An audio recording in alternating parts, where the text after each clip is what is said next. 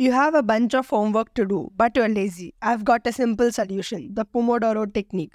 Here's how it works set a timer for 25 minutes and work on your homework. Once done, take a 5 minutes break, maybe touch grass or play with your pet. Then dive back in for another 25 minutes of work. Repeat this process 4 times and then reward yourself with a longer break of 15 to 30 minutes. Follow for more.